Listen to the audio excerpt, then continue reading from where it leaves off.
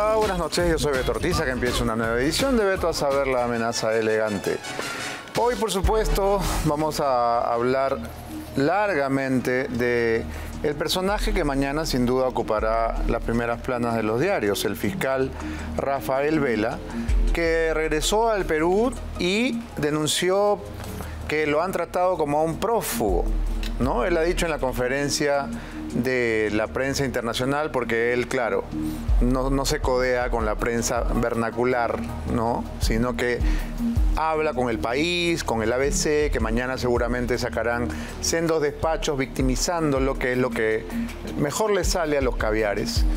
Entonces hoy regresó al Perú y lo negó todo, ¿no? Negó reuniones con Salas Arenas, con Ruluque, con Miguel Girao y ha comenzado una estrategia en pared, por supuesto, con su pequeño acompañante y en pared con los canales que han salido a defenderlo de una manera fervorosa. ¿no? Hay algunos medios que dan vergüenza ajena realmente y que no son capaces de disimular un poquito su entusiasmo. Vamos a ver las imágenes de la llegada a Lima del viajero frecuente Rafael Vela. Falso, falso, falso, falso. Muy bien, dio una conferencia de prensa a los medios internacionales y admitió lo que era imposible de negar, su amistad con Jaime Villanueva. Y esto es muy interesante porque cuando en noviembre del año pasado denunciamos aquí al siniestro asesor Jaime Villanueva, mano derecha de la fiscal de la Nación, Patricia Benavides, se nos vino encima la mitad más uno del Perú a decirnos que nos habíamos vuelto caviares, ¿no? Y que estábamos haciéndole un favor a los rojos, bla, bla, bla, bla. Y ahora precisamente son los caviares los que están en graves aprietos por las declaraciones de Jaime Villanueva, que resulta que era amigo del fiscal Vela.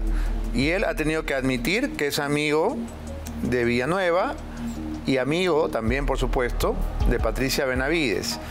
Ha dicho en la conferencia de prensa para los medios internacionales que conoce al asesor Jaime Villanueva desde el año 2015. Escuchemos. Doctor, en todo caso, ¿desde cuándo usted conoce al señor Jaime Villanueva? Yo conozco al señor Villanueva desde el año 2015. ¿Se reunía usted con él? ¿Desayunaba? Habitualmente, habitualmente nos reuníamos porque teníamos una relación laboral y de amistad desde el año 2015. El señor Jaime Villanueva fue secretario del Ministerio Público, luego de eso fue gerente del Ministerio. ¿Ha sido su amigo íntimo? Bueno, yo diría, yo diría eh, a mi casa no creo que haya ido nunca, pero siempre nos reuníamos eh, con otras amistades conjuntamente. Eso sí es. Cuando dice no cree, cuando dice usted no cree que, no, no, puede ser No, no recuerdo, no recuerdo, porque yo me he mudado también y no recuerdo que el señor Villanueva haya estado en mi casa. ¿Lo que cree usted? Lo que sí le puedo decir, lo que sí le puedo decir es que con el señor Villanueva nos unía un vínculo de amistad que también unía a la señora Benavides. Los tres éramos amigos. Mire, pues pueden haber múltiples hipótesis de que haya la posibilidad de que el propio señor Villanueva esté respondiendo a presiones o a coordinaciones externas, porque el señor Villanueva no dijo nada cuando estuvo privado de su libertad Reinaldo Avia, que es un fiscal que abiertamente tiene conflictos de interés conmigo por lo menos. Mire, el señor Gustavo Borriti es un periodista respetable, reputado, que dentro de, de, su actividad periodística como periodista de investigación dirige un portal prestigiado y que como tal hemos tenido relaciones como las he tenido con la señora Rosana Cueva, como las, he tenido con la con el señor. Sí, pero no, no se reunía su, no, no, tenía un escritorio como lo ha dicho Villanueva en, en el IDL. Eso lo está diciendo usted. Yo lo, dice Jaime Villanueva. No, por eso. Usted lo niega totalmente. Usted lo niega en todo caso. Bueno, me disculpo, por supuesto que lo he negado, así es.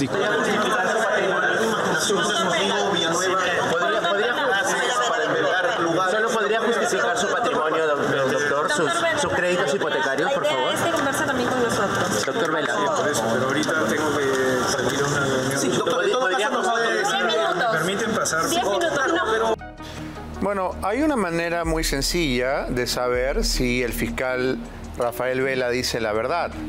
Él dice que bueno, que se reunía con Gustavo Gorriti, como se reunía con Osana Cueva, ¿no? Porque él es, él es una persona eh, que, que conversa pues con toda la prensa, porque es un demócrata, ¿no? Muy bien. Hay una manera muy sencilla, decía, de saber con qué regularidad se reunía el fiscal Vela con Gustavo Gorriti, con Romina Mela, con los periodistas de este prestigiado portal IDL Reporteros. Porque cuando un periodista ingresa al Ministerio Público, se tiene que registrar con su DNI y tiene que dejar la hora en que entra, la hora en que sale, la oficina a la que visita y el motivo de su presencia ahí. Entonces, si él dice que conversaba con Gorriti, así como conversaba con Rosana Cueva y con otros periodistas, vayamos a los registros de visitas y constatemos ahí quiénes eran los visitantes más frecuentes. Ahora bien, podría ser, porque yo soy mal pensado, podría ser que Gorriti acudiera con tanta frecuencia que ya no se registrara. Podría ser. Se han visto casos de periodistas muy cercanos a determinados fiscales que entran por la puerta falsa, que entran por la puerta trasera, que saludan a la, policía de turno, se pasan de largo y nadie les pide identificación. Eso también ocurre. Entonces necesitamos saber si en el registro de visitas están consignadas todas las idas y venidas de Gustavo Gorriti para conversar con el fiscal Vela o el fiscal José Domingo Pérez, o simplemente él era ya una persona con pase VIP, ¿ah? con, un, con un photocheck de All Access, que es lo que parece más bien. Habría que pedirle eso al fiscal Villena, al inexistente fiscal Villena, al imaginario personaje llamado, ¿cómo se llama? ¿Juan? Sí, Juan Villena. Juan Villena. ¿No? Hay un fiscal de la nación, les cuento, que se llama Juan Villena. Nadie lo conoce, nunca declaró, nunca aparece, no dice esta boca es mía, se le está incendiando la casa en sus narices, pero él ni pone orden, ni declara, ni nada. Está pintado en la pared, pero además muy mal pintado, porque ni siquiera recordamos el dibujo. Y la pregunta es, ¿no es el fiscal Villena el que tiene que autorizar a los demás fiscales para declarar o no declarar? Esta es una pregunta interesada, porque nosotros llevamos varias semanas tratando de entrevistar a la fiscal Marita Barreto, que siempre nos responde que tiene que pedir permiso a su máximo jefe, maestro y guía, fiscal Villena. Y hasta ahora no le da permiso a venir a este programa, ni a nosotros a ir a la fiscalía a entrevistarla. Ahí sí no hay permiso pero Bela Barba y José Domingo se pasean como vedettes en programas de espectáculos por todos los canales afines, por todos los canales adictos, por todas las radios que saben que los van a sobonear y los van a tratar con guantes de terciopelo. Por ejemplo, Exitosa, por ejemplo, RPP, por ejemplo, Canal N. Ahí sí que van, ¿no? Van y declaran y hacen microondas, enlaces, programas especiales, musicales, coreografías, todo. Y nadie les dice nada. Entonces, ¿quién manda a quién? Es la pregunta. ¿El fiscal Villena, improbable, es el jefe de Vela y de Pérez que hacen lo que le da la reverenda gana o es al revés? ¿O el fiscal Villena es un monigote de Vela? ¿Qué es lo que parece? ¿No? Porque Vela se va a Miami, vuelve, se pela la frazada del avión, regresa.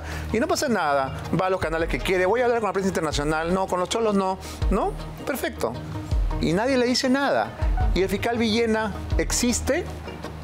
¿Existe o es, un títere? Porque ya sabemos quién es el titiritero, de acuerdo a la, a la portada de Expreso del día de hoy. ¿no? El gran titiritero de toda, de toda esta tramoya, de todo este andamiaje, es Gustavo Gorriti. Una palabra impronunciable, que no, no se puede decir en voz alta porque es pecado. Él es el gran titiritero, todos los demás son chupes. Entonces, ¿dónde está el fiscal de la nación? ¿Y dónde está el piloto? Nadie sabe. Y como en toda historia de superhéroes, así como hay un Batman, hay un pequeño Robin, vamos a escuchar al compañero de aventuras, ¿no? José Domingo Pérez, que dice que no existe ningún vínculo entre IDL y la Fiscalía. Qué gracioso. En todo, en todo caso, ¿a usted le molesta que estén investigando periodistas como Gustavo Gorriti? No mí no me molesta que investiguen a periodistas. A mí lo que me molesta es que se utilice a la fiscalía con propósitos indebidos para operaciones de, para ensuciar la colaboración eficaz en contra la ex eh, fiscal de la nación. Doctor Domingo, pero lo mismo decían de usted, ¿no? Lo mismo lo culpaban que usted también utilizaba estos mecanismos para acusar a otros objetivos políticos. Bueno, los investigados y los que tienen intereses con la corrupción siempre lo han dicho. Para mí eso no es novedad. Entonces, ¿Quiénes son ellos los que están interesados en la corrupción? bueno, eh, no, no podría yo usted... No usted lo, es que usted lo desliza y no, no, no, no lo afirma, ¿no? Bueno, pero usted como hombre eh, periodista sabe muy bien quiénes están sosteniendo esta campaña de desacreditación, estigmatización, difamación con el objeto de afectar la operación Lavajato. de vínculo por parte de IDL Reporteros con la investigación, con Fiscalía exclusivamente. Obviamente que se descarta porque la Fiscalía realiza su labor. El periodismo de investigación realiza también su labor de investigación, pero de manera periodística. Eso es parte en una sociedad democrática. Pero si llegamos a una sociedad en donde la democracia es reemplazada por el autoritarismo, en donde se pretende censurar y afectar la libertad de prensa, pues lo único que nos va a de, o de quedar- repente también donde eh, hay fiscales que tienen en sus escritorios a periodistas como la periodista Mela que eh, pasan información en archivos de, de investigaciones fiscales. ¿Eso Mire, es cierto? Es- eso- hay un escritor. Eso no es cierto, eso es absurdo. Podría decir Tiene un poder de imaginación grande el señor Villanueva. Mire, usted ve este hotel con cámaras, personas que realizan control, que están Pero investigando. eso es eso lo- pero doctor, pero doctor, usted le da credibilidad a algunas ah, afirmaciones del señor Villanueva, pero no a otras como la que mencionan a la periodista Mela. En un lado sí, usted Porque no. algunas cosas son ridículas, como la que usted me está preguntando, y otras se preferiría quedan- que usted baje la voz para conversar. No, es que Estamos estoy saliendo. Y otras, como lo que usted bien señala, por de la congresista Marta Moyano, sí se ha aceptado y ha reconocido que ha solicitado eh, la cabeza de los fiscales del eh, caso Lavajato y como dice el señor Jaime Villanueva, una coordinación directa entre la alta dirección del Partido Fuerza Popular que lidera Keiko Fujimori y la ex fiscal de la Nación, Patricia Benavides. ¿Qué país de pacotilla debemos ser para que un petimetre como este sea uno de los hombres más poderosos? Estuvo en el programa de Chincha y se refirió a este canal. Sigamos escuchándolo. Lo que le está diciendo a Jaime Chincha es, ¿no? Entre líneas, Jaime, yo he venido acá para que me acaricies, así como yo he acariciado públicamente a Gustavo Gorriti, ¿no? Y he dicho que es el mejor periodista del Perú y no sé qué, no sé cuántos. ¿Qué está pasando, Jaime? Te está saliendo el guion. Hazme cariñito. Yo le hago cariñito a Gorriti, tú me haces cariñito a mí y así funciona la cosa. ¿Por qué me haces una pregunta incómoda? No eres de Willax. ¿Qué te está pasando? ¿Te has caído de cabeza? De verdad, es vergonzoso escuchar a este sujeto. A mí me produce vergüenza ajena. Porque él cree que está en un show, ¿no? Él se divierte, ¿no? Ah, dice frases ingeniosas, hace miraditas, tics, ¿no? Le hace ojitos. Pero lo que está hablando es de una farsa que ha tenido en vilo a este país durante años y años y que recién la estamos descubriendo. Y ellos salen a decir todo es falso, no me acuerdo, todo es mentira, me estigmatizan, me criminalizan. Por supuesto, la única estrategia que les queda ahora que están con el calzón abajo es victimizarse. Pero yo quiero hacer aquí una denuncia de algo sumamente grave y que ha pasado por agua tibia, como todos los hechos delictivos que involucran a la argolla caviar. El Instituto de Prensa y Sociedad IPIS, que es algo así como el Vaticano de la prensa nacional y que era financiado por Odebrecht con unos premios de periodismo pagados por Odebrecht, ¿se acuerdan? Bueno, ese mismo IPIS ha publicado una carta de apoyo masivo a Gustavo Gorriti. ¿no? Todos los periodistas de, de ese lado han corrido a firmar. Pero resulta que en su desesperación han puesto firmas falsas. Han incluido las firmas de personas que no han firmado. Y esto es sumamente grave. No porque sean periodistas.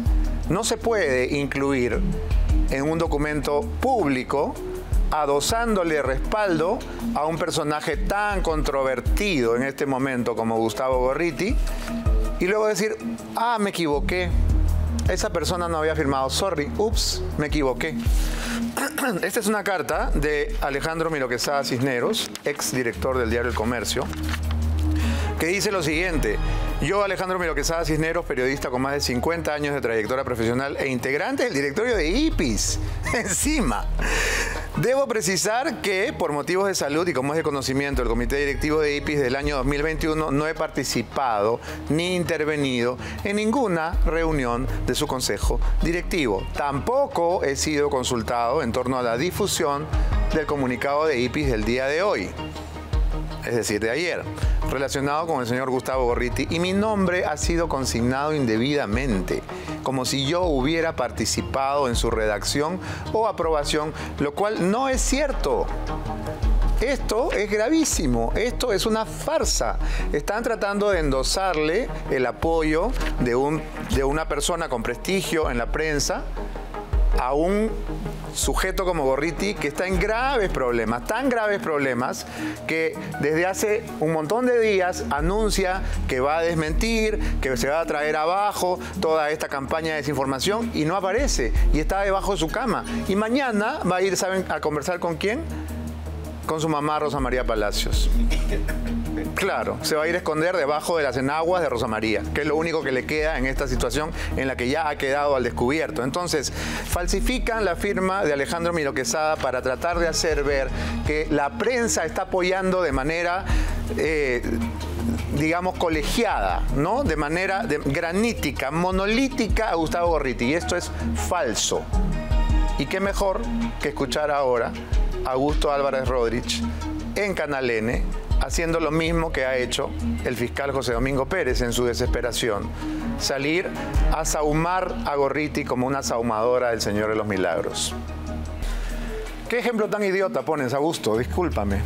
No tiene absolutamente nada que ver que tú vayas a radioprogramas con tu laptop y le digas a Belardo, un ratito que voy a escribir mi columna, estás en un medio de comunicación escribes tu columna para la República, hablas en RPP, estás en medios de comunicación, como te puedes ir a escribir al Starbucks. Eso no tiene nada que ver con lo que hacían los periodistas de IDL Reporteros, sentarse en el despacho de un fiscal para tener acceso a las carpetas fiscales y tener la información de primerísima mano antes que nadie en ocasiones antes que los propios investigados, antes que los abogados de la defensa, antes que absolutamente nadie. No es lo mismo, Augusto, y tú lo sabes. Tú lo sabes, estás mintiendo de manera descarada en televisión nacional. No tiene nada que ver sentarse en RPP a escribir tu columna de la República con sentarse en el despacho de un fiscal que decide la vida y la muerte de los cristianos en este país. Porque un fiscal puede hacer que alguien como tú o como yo se pudre en la cárcel por el resto de sus días, si le da la gana. Y entonces tienes a un periodista ahí que está revisando, que está manoseando, que está interfiriendo, que no tiene derecho a estar ahí sentado. Ese no es un mecanismo o un método de investigación periodística y tú lo sabes. Así que lo que se ha denunciado de los periodistas de IDL Reporteros es sumamente grave, porque ellos han dosificado la información a su conveniencia, la han publicado a su conveniencia para ejercer presiones públicas, para que determinada investigación se acelere o se retrase, han mostrado u ocultado información de acuerdo a sus particulares intereses políticos. Y eso es sumamente grave. Muy bien, vamos ahora a presentar a nuestro invitado de esta noche. Está con nosotros el ex fiscal supremo Tomás Galvez. Buenas noches, doctor. Gracias por estar en el programa. Gracias por la invitación también. Quisiera preguntarle primero su sensación ante el auténtico terremoto que está generando cada una de las declaraciones del asesor de la fiscal, eh, el señor Jaime Villanueva. Al comienzo la reacción fue eh, de cerrazón, ¿no? Todo un sector de la opinión dijo, ah, le están haciendo el juego a los caviares, ¿no? Y ahora resulta que cada cosa que dice Villanueva afecta a fujimoristas, a pristas, a, a la izquierda, a la fiscalía. Está lloviendo a todos lados y todos se mojan. ¿Cuál es su sensación? ¿Qué va a pasar después de este diluvio? Bueno, en primer lugar, eh, el contenido de la declaración es muy amplio, involucra a varios personajes, a varias instituciones inclusive, y, pero la gran mayoría de la información que ha esbozado, que ha dado, simplemente corrobora hechos que ya se sabían. Por ejemplo. Por ejemplo, el manejo de Pablo Sánchez con Rafael Vela y José Domingo Pérez, el manejo fraudulento de la investigación a Odebrecht, eso ya se conocía. El acuerdo de colaboración eficaz a favor de Odebrecht fue un escándalo. Desde un primer momento yo lo denuncié. ¿Recuerda la fecha? Eso ha sido más o menos en, en junio del 2020. ¿Y qué pasó? Yo denuncié eso ante el- la Fiscalía de la Nación y especialmente ante la Junta Nacional de Justicia, porque no podía denunciar ante control interno porque ahí estaba a cargo la doctora Zoraida Ábalos, que era precisamente quien protegía a estos señores. Cuando dice Lo archivaron estos de plano. ¿A quiénes se refiere? a Rafael Vela y a José Domingo. Y obviamente también a Pablo que no lo podían investigar, pero que la Junta sí podía hacerlo y sin embargo lo archivó de plano. Y todos estos hechos prácticamente yo los denuncié. La injerencia de Gorriti yo lo denuncié, yo lo indiqué en ese momento, no con la claridad porque yo no había estado en esas reuniones, pero era obvio y se sabía que era, el, era él. ¿A usted le consta la injerencia de Gorriti? Pero es que no hay otra forma de interpretar, porque puede ser un hecho real, pero la interpretación que le damos ya depende de, algo de, de alguna subjetividad de cada del, del intérprete. ¿Qué sucede? Eh, todo lo que favorecían a Odebrecht salía a santificarlo Gorriti. Y no solo eso, sino que después, cuando se cuestionó el acuerdo de colaboración eficaz, que fue una traición a la patria, ¿por qué? Porque no se investigó nada y sobre todo porque debían incautarle por lo menos unos 20 mil millones de soles, que- dinero que estaba en el país. ¿Y qué hicieron estos fiscales? Simplemente trabajaron para que Odebrecht saque el dinero del país. Entonces eso salía a santificar Gorriti y sobre todo cuando le autorizaron seguir contratando con el Estado, él salió a ratificar diciendo de que sí pues que Odebrecht ya era una empresa regenerada, que deben darle la oportunidad. Por supuesto. lo todo dijo en a televisión. favor de Odebrecht. Lo hizo en televisión Entonces, sin, sin ningún pudor. entonces, eso, más lo que acaba de decir el señor Villanueva y el resultado de objetivo concreto del acuerdo de colaboración eficaz a favor exclusivo de Odebrecht, obviamente que llega a una conclusión con, atando cabos. ¿Cuál era la gravitación que tenía Gustavo Gorriti sobre el fiscal de la Nación, Pablo Sánchez? ¿Usted podría contarnos cuál era la relación? Eh, sobre todo en el contexto de las famosas eh, interceptaciones telefónicas, porque usted conoce ese caso bastante bien. Mira, en realidad tenemos que percibir o apreciar debidamente eh, de manera integral esa investigación de los cuellos blancos. ¿Por qué? Porque desde que se inicia la investigación con las fiscales Rocío Sánchez y Sandra Castro, que la santificaron y que ahora creo que están investigadas por manipular los, algunos hechos, entonces... Ambas puestas por Pablo Sánchez. Ambas puestas por Pablo Sánchez, ciertamente. Pero ¿qué sucede? Ellas tenían toda la información de las interceptaciones, el material de las interceptaciones, que tenía que estar bajo estricto, estricta cadena de custodia. ¿Y qué hicieron ellos? Contraviniendo el derecho, faltando a sus deberes. Según el colaborador eficaz y según el informe de la propia Sandra Castro, ese es el detalle, porque que lo diga un colaborador eficaz, pues bien, pero que lo diga en un informe, la propia fiscal que investiga tiene otra connotación. Y es ella quien dice en su informe que Pablo, que Pablo Sánchez tuvo los todo el material de las interceptaciones. 60 mil audios, correcto. Aproximadamente, porque pueden ser más. Porque si Pablo Sánchez tuvo en su poder los audios, es probable que él ya más o menos clasificó algunos que no le convengan y luego ya le entregó a Gorriti que iba a administrarlos según su propio interés. Es pero, decir, quien dosificaba la información, primero, el, primer filtro era Pablo Sánchez primero, o, era, o era Gorriti. Primero lo tuvo Pablo Sánchez. A él le entregaron las fiscales esa información. Eso lo dice el colaborador y eso lo dice la fiscal en su informe. Muy bien, le entregaron a Pablo Sánchez y después él le entregó a Gorriti. Obviamente porque había una relación total y una relación de dependencia. ¿Por qué? Porque hay otro dato que ya lo he dicho en algún lugar, pero que no le han dado importancia. Cuando juramenta como fiscal de la nación el doctor Chavarri, se generó un problema que, uh, que la doctora Zoraida Ábalos no quería que Chavarri juramente. Y Pablo Sánchez al comienzo tampoco quería. Pero se tomó el acuerdo y Pablo Sánchez, él propuso que juramente cuatro votamos a, favor de que juramente y Zoraida que no. Pero cuando salió a declarar a la prensa, en ese mismo momento, él salió a decir que él ha votado en contra de que juramente. ¿Por qué? Porque tenía miedo que las personas que obviamente le controlaban y de quienes dependía no se enteren de que él votó a favor de la juramentación. ¿Quiénes eran esas personas? Esas personas tienen que ser las mismas a las que les entregó los audios, las mismas que finalmente él les daba cuenta, porque que le entregue los audios cometiendo delito, ¿ah? porque ese era un material reservado para la investigación. Y sin embargo, él le entregó, según la información de colaboración eficaz, reitero, y el propio informe de la fiscal a cargo de la investigación, le entregó todos los audios.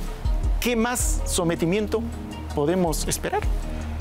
Ahora bien, los mencionados en los audios en el contexto del caso de los cuellos blancos del puerto, título cinematográfico también puesto por algún cerebro creativo. Sandra Castro, Sandra Castro. que debería dedicarse a la publicidad o a la propaganda. Eh, las personas que eran mencionadas, de algún modo, recibían presiones para declarar en contra de los fiscales supremos, eh, de algún modo eran chantajeados. Lo que pasa es que se le dio una connotación tan grave, se percibía como que el caso de los cuellos blancos era precisamente el culpable de toda la desgracia de la administración de justicia en el país. Entonces nadie quería estar en eso. Y cuando detenían a personas, las personas hablaban lo que les preguntaban y daban la respuesta que querían las fiscales. ¿Por qué? Porque un colaborador eficaz declaró que se había reunido conmigo en tal lugar y tal día. Y yo no lo conozco a ese señor. Después, bastaba que lo mencione. claro. Después, se acabó su carrera. Se acabó mi carrera. Ahí me empiezan a, Ese fue el punto de quiebre para que luego me saquen. Y ver un fiscal, no estoy exagerando ni, ni por vanidad, con gran ascendencia en el Ministerio Público. La gran mayoría de jueces y fiscales eran mis alumnos. Y yo dictaba clases en todas las universidades y sobre todo era director del Centro de Asuntos Interculturales, Comunidades y Rondas Campesinas del Ministerio Público, con lo cual resolvíamos conflictos entre la Fiscalía, la Policía y las comunidades de una manera pacífica y totalmente provechosa. ¿A quién le resultaba incómodo usted? a mucha gente, especialmente a Pablo y sobre todo al grupo de Odebrecht y de Vizcarra, porque yo denuncié justamente el favor que le estaban haciendo a Vizcarra. Yo dije que estos fiscales estaban trabajando para Odebrecht y que Odebrecht debería pagarle su sueldo. Lo dije categóricamente en un programa de televisión. Y ahí firmó su sentencia. Ahí firmé mi, sentencia de muerte porque al, al día siguiente otro fiscal me denunció. Un fiscal, creo que se llama Salas, ya no lo conozco porque es un ilustre desconocido. Él me hizo la denuncia porque supuestamente estaba entorpeciendo la investigación de Odebrecht, cuando en realidad yo lo que quería es que se deje de encubrir a esta empresa. porque ese acuerdo de colaboración eficaz fue un encubrimiento evidente. ¿Y quiénes protegían el acuerdo? Pablo Sánchez, Zoraida Ábalos. ¿Por qué? Porque Vela Pérez, Gorriti. Bueno, Vela Pérez, Gorriti, ellos ejecutaron ese acuerdo. Ellos lo hicieron, ellos lo hicieron. ¿Y quiénes lo protegían? Zoraida y Pablo Sánchez. ¿Por qué? Porque yo pido y lo presento por escrito y lo presento oralmente en la Junta, pido en la Junta de Fiscales Supremos que se llame a los fiscales Vela y Pérez para que expliquen por qué han celebrado ese convenio en esos términos. ¿Y se hizo? Para nada. Por mayoría aprobamos que lo citen. Pero como era fiscal de la Nación Zoraida, simplemente les dijo que no vengan y nunca vinieron y no pasó nada. ¿Usted recuerda quiénes visitaban la oficina de Pablo Sánchez? Creo que esta es una pregunta que los peruanos mereceríamos saber. Justamente la oficina de Pablo Sánchez quedaba frente a mi oficina. Qué suerte. Buena y mala suerte también. ¿Por qué? Porque de ahí podía observarme a su antojo. Pero, también, Pero yo también, por eso buena y mala. Entonces, ¿qué sucede? Mi yo encargué a mi seguridad que ellos están afuera en la puerta, que anoten quiénes van. ¿Por qué? Porque las mm, casillas de vigilancia, eso no lo controlaba, no las anotaba. Hay mucha gente que pasa sin firmar. Pasa además, sabes que hay, hay hasta cinco entradas al noveno piso y al octavo piso. Entonces, ¿quién iba constantemente? Gino Costa. Casi, ah. casi, casi semanalmente también estaba, iba constantemente Walter Albán. Y todo ese grupo que justamente fueron los abanderados de condenarnos supuestamente porque éramos cuellos blancos. Pero yo dije, los verdaderos cuellos blancos son ellos porque ellos estaban manipulando la información. ¿Y vendiendo al, Perú? Y vendiendo al Perú. Vendiéndolo. Y sobre todo entregándole al señor Gorriti toda una instrumental de chantaje para que chantajee a quien quiera. Eso es lo que ha pasado. Entonces, IDL Reporteros, doctor, ha sido una central de extorsión. A mi criterio sí. ¿Por qué? Porque quien no le gustaba, le sacaban su, su audio, pero no un audio limpio, sino totalmente manipulado. Por ejemplo, yo recuerdo que en una, en una conversación, porque lamentablemente, ahora ya bueno, nos hemos curado, pero lamentablemente cuando hablamos, hablamos más de lo, de lo debido. Entonces, uno puede soltar algunas palabras que después se prestan a la manipulación, sobre todo cuando editan las conversaciones. Entonces, por ejemplo, cuando yo digo un apoyo moral, sale un apoyo moral ininteligible, lo ponía totalmente manipulado para que digan que he solicitado un apoyo para un caso. un apoyo para un caso. Dinero, ¿no? y encima, mira cómo lo manipulaban. Y yo presenté un libro, porque he escrito más o menos 20 libros resolviendo problemas del Ministerio Público. Uno de estos es, por ejemplo, decomiso, extinción de dominio, nulidad de actos jurídicos fraudulentos y la reparación civil a propósito del caso Odebrecht. Acá. ¿Me permite para que la cámara lo pueda ver? Ya. Vamos a ponerlo por aquí. Entonces, ¿qué sucede? Una vez presentamos un libro en donde eh, participaron varios autores. Dentro de ellos participaron jueces supremos, abogados y fiscales. Entonces yo le digo a un, en una conversación le digo a un magistrado supremo, ¿ya te entregaron tus libritos? Le digo. ¿Y qué cosa dijeron? Que libritos era una clave para... Dinero. Eh, para pedirle dinero, para decirle si ya le entregaron un fajo de 10 mil dólares. Así lo manipulaban y así nos lapidaron. Esa es la verdad. Pero yo nunca me callé. refería a libros. Eran los libros, eran los libros que le estaban escrito. Solo que bueno, a veces yo soy eh, natural de la de Cajamarca, de la sierra, entonces siempre tendemos a utilizar el diminutivo, hermanito, librito, claro. ya. Entonces dijeron, no, libritos es eso, pues es, clave, es plata. Y periodistas serios ¿ah? salían a decir que eso era un fajo de 10 mil dólares, un librito. Incluso ya habían hecho unas claves supuestamente con las cuales nos identificábamos o utilizábamos los miembros de los cuellos blancos. La verdad que eso fue fatal y triste también porque gente con un futuro, digamos, interesante frustraron y ahorita mucha gente... Y bueno, han sido reemplazados por mediocres, obsecuentes y, y al, y servicio de, intereses. Por ejemplo, Quiero preguntarle algo. Para, para este, permíteme. Sí, sí. Mira, ahorita yo debería ser el fiscal de la nación, ¿ya?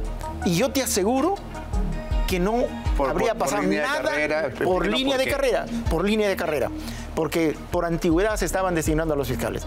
Entonces, y yo era el más antiguo después de Zoraida. Entonces, después de Zoraida tenía que ser yo. Sería el fiscal de la nación y te repito, no pasaría eso porque yo sí me he formado para ser fiscal. Y lamentablemente han hecho daño esta gente, no solo a las personas, sino también al país. Porque ¿en qué estamos? Ahora la institución del Ministerio Público está totalmente deteriorada. La gente no confía para nada. Y sobre todo, el mismo cargo de fiscal ya no es orgullo como lo era antes. No, claro que no. ¿Ya? Entonces todo ese daño han hecho y después nos quejamos que las instituciones deben funcionar. Oye, pero las instituciones las destruimos. ¿Cómo es eso? Quiero preguntarle sobre eh, esta, est- esta controversia alrededor de la presencia de periodistas de IDL en los despachos de Vela y de Pérez. Gustavo Gorriti y sus reporteros llevaban USBs a copiar carpetas fiscales, a copiar material del Ministerio Público. ¿Es esto posible? ¿Es esto legal?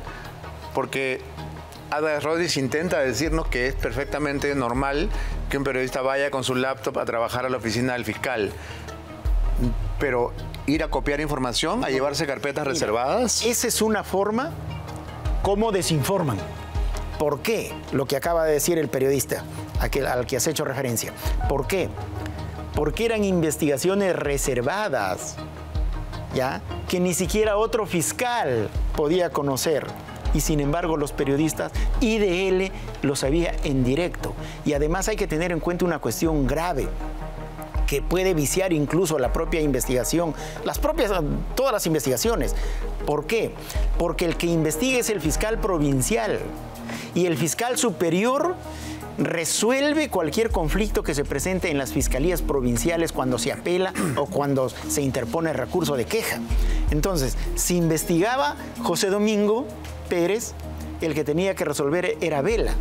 Pero ¿qué hacía Vela? Vela viajaba con José Domingo como si él fuera el fiscal provincial, con lo cual viciaba la diligencia. Y ellos se encargaban de, tra- digamos, transmitir en directo con IDL la diligencia Convertida en espectáculo. convertida en espectáculo. Y sabes qué otro dato que ya más o menos se conoce, pero hay que reiterarlo. Vela no era fiscal de lavado de activos y Pablo Sánchez fraudulentamente hizo que le cambien el título. De ese modo, Vela se consolidó como el director de esas investigaciones, a pesar que era superior y no el provincial que tenía que dirigir, y así pudieron control- controlar todas estas investigaciones. Me piden ir, ir a la publicidad, pero tengo una última pregunta. ¿Cree usted que esta, eh, es- es- esta especie de terremoto en el Ministerio Público motivado por las declaraciones de Villanueva es la consecuencia de una guerra de poder entre Patricia Benavides y Marita Barreto? No, para nada. Lo que pasa que IDL y, este grupo de lo caviare que siempre dicen y con la gente de, de Vizcarra habían capturado el Ministerio Público. Y de algún modo, no digo que, lo que habían perdido el control porque seguían haciéndolo, pero se les había escapado a la Fiscalía de la Nación con Patricia. Entonces, ellos son los que han organizado todo esto, como organizaron lo de los cuellos blancos. Con lo de los cuellos blancos, inventando y manipulando conversaciones, Pero nos, entonces se han nos sacaron a todos. a los pies, porque quienes han quedado con el pantalón abajo son precisamente Vela, Es que no Pérez. Gorriti. Es que no esperaban esto. No esperaban que Villanueva dé toda esa información. Se han suicidado. Se han suicidado. Porque con esto se confirma lo que ya se sabía y lo que yo siempre lo he denunciado. Entonces, de- no se trata de Marita.